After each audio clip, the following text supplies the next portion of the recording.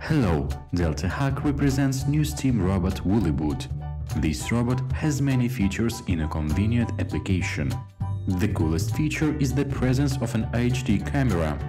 I can control the robot remotely. There is also a gyro control phone. Play with the robot has become more interesting. Also included is an IR remote, and with the remote control you can start the black line tracking function. The robot itself determines the line and goes to the very end. This way you can make lines throughout the house. Stream robot never stop. You can enable the function of determining the distance.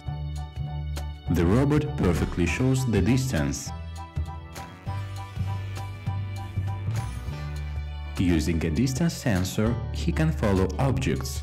All these functions fit in the case made of digital boards.